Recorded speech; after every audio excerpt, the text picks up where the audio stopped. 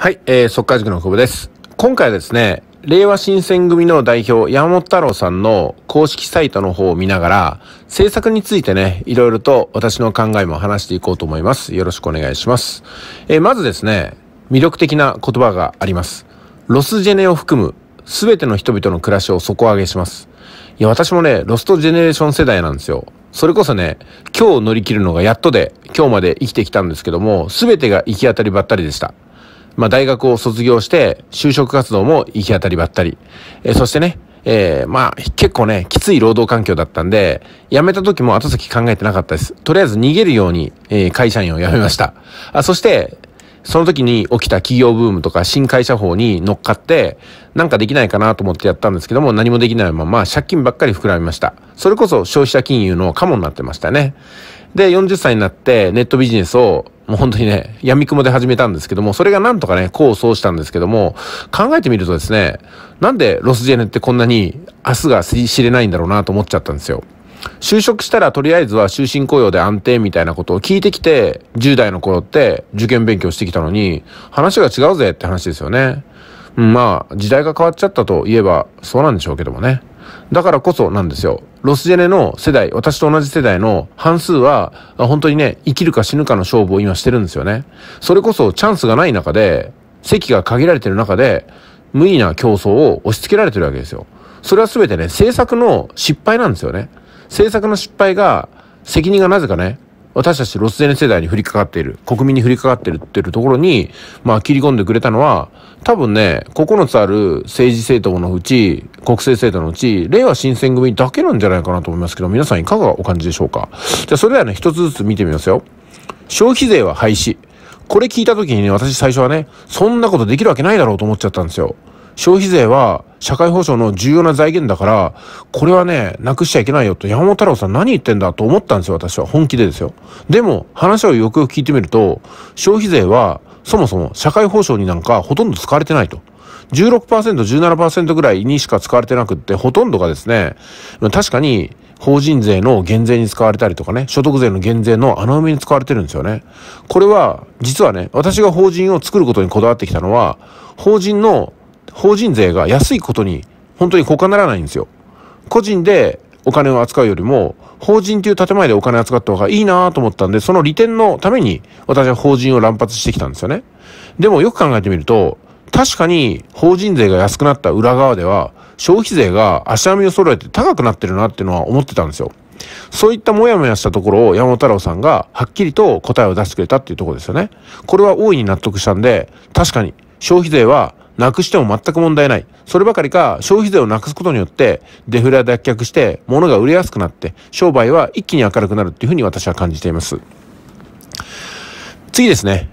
家賃ですね。うん、家賃がなんでこんな高いんですかね。日本では家が余ってるって言うんですよ。何十万個も人が住んでない家があるんですよ。なのになぜか家賃は高いと。需要と供給のバランスおかしくないですかってことなんですよ。だって一戸建てだってね、100万円出したら借り入れって、今、もはやかなりあるんですよ。私最近ね、趣味でインターネットで100万円で買える一戸建てで検索するんですけども、中国地方、四国地方にも山ほどあるんですよ。いや、これね、建てるときは3000万、4000万かかったんだろうなと思いながら、築年数が20年、30年で100万円を土地付きで切ってしまうっていうね。この価格の暴落の、うん、背景、その裏側になぜか値段が下がらない家賃ってのがあるんですよ。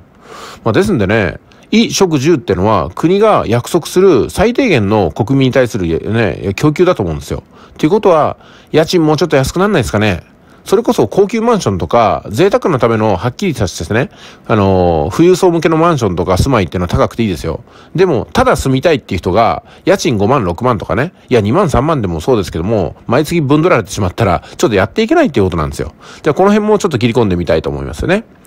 次、奨学金、奨励金。奨学金、特性例ですか？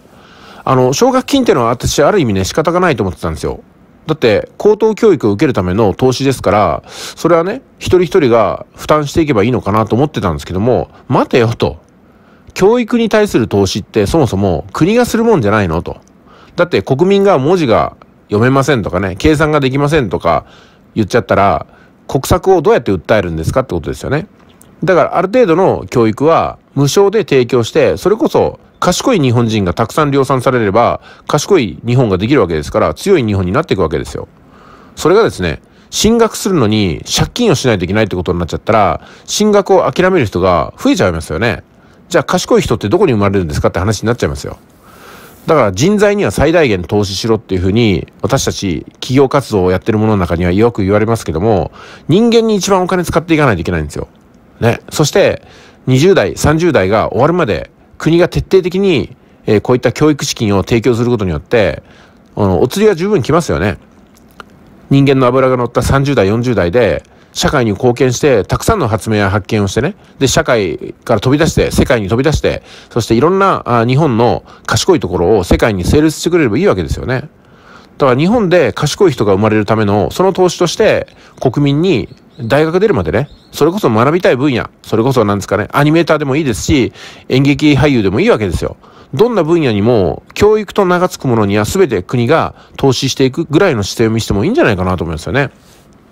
で、今回語られているのは、現在奨学金の返済に苦しむ555万人の借金をチャラにしろってことですよ。まさにそうですよね。こんな奨学金の返済なんてチャラにしても誰も困んないですからね。うん、次です。全国一律最低金額、最低賃金1500円。確かに、うん、時給1000円とか1500円って、そんなに高くないと思うんですよ。ここに書いてますけども、えー、賃金、時給1500円にしても、月収では24万ぐらいにしかなんないんですよ。24万ってことは、今の現代社会で生きていくのは、はっきり言ってやっとです。工夫すればいいんだっていう人もいますけども、待ってください。24万で、健康で文化的な最低限の暮らしって送れるんですかね？私はね、できないと思いますよ。健康で文化的な最低限の暮らしって何かっていうと、きちんと自分の好きな趣味に時間とお金を使えることもありますし、親孝行ができたり、しっかりと休みを取って、えー、両親の介護ができるとかね、子育ての時間をしっかり持ってね、夕食は夕方6時に家族揃って楽しい食卓を囲むと。これ贅沢ですかね？うん。だから夜9時、10時まで、あの、残業して、サービス残業して、それが最低限の人間の文化的な暮らしって言うんだったらそれは仕方がないですけども、ちょっとこれはないと思いますね。やっぱりね、私48ですけども、40代の、うん、最低所得ってのは、やっぱり37万とかだと私は設定してるんですよ。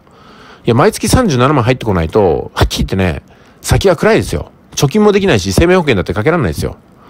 んで、節約すればいいってもんじゃないですからね。節約をみんながすると GDP が縮小してみんなでデフレになるわけですよ。だから節約は美徳では何でもないんですよ。ちょっとの贅沢はやっぱりそれぞれに最低限の暮らしとしてやってもらいたいなと思うんですけど皆さんいかがですかねそれこそ高級車を3台4台乗れって話じゃないんですよ。ね。自分があクラウン乗りたいなと思ったら乗れるぐらいのことは別に無茶苦茶なことではないと思うんですよね。で、そうすることによってトヨタ自動車だって車売れるし、そして道路もいっぱい走るようになったら、いろんな観光地流行るし、言うことないと思うんですけどもね。あ、ちょっと変なところに話いっちゃいましたね。すみません。私のね、もう、鬱憤がここで発散されてしまいました。まあでもね、アルバイトをして最低賃金1500円があっても、私はもうね、今の時代、そんな無茶苦茶な高い金額じゃないと思うんですよ。でも、事業者が負担できる金額っていうのは知れてますから、やっぱりね、その足りない部分は国が穴埋めするっていうことで、労働意欲をやっぱりね、えー、奨励していかないといけないんじゃないかなと思いますよね。それこそ時給900円で働く人って極端に減りますよ。ね、時給900円で働けない人がいるところに、じゃあ募集をどうやってかけるんだと。コンビニだって今ね、人手が足りなくなっちゃってるわけですよ。うん、で、トラックのドライバーさんとかね、貴重な、あの、戦力、そういう方の、うん、やっぱりね、保証っていうのをもうちょっとしていかないといけないかなと思います。うん、やっぱり物流に関わる方とか、それから、あエッセンシャルワーカーという言葉がありますけどもね、エッセンシャルワーカーの方が、あの、暮らしが成り立たないっていうことになっちゃうと、結局はそこで働く人が減って、うん、富裕層の暮らしも成り立たないってことになっちゃいますよ。富裕層と言われてる方の所得だって、たくさんのね、いわゆる低所得と言われている方が搾取されて支えてるわけですよ。そろそろね、バランス取っていきましょう。次ですけども、公務員を増やしますってありますよね。私ね、公務員はもっともっと増やさないといけないと思います。っていうのが、公務員さんって、自動的にお金が入ってくる仕組みなんですよ。はっきり言ってね。まあもちろん、大変なお仕事もやられていると思いますけども、公務員さんが増えると何がいいかっていうと、国民全体の平均所得が上がるんですよ。そうなると、公務員さんが手にしたお金で民間の商品やサービスを買いやすくなりますよね。ってことで民間も潤うんですよ。公務員さんが減っちゃったり、公務員さんの所得が減ると、お金が入ってくるところがもうなくなっちゃうわけですよ、国民に。となると、お互いにお金使えないじゃないですか。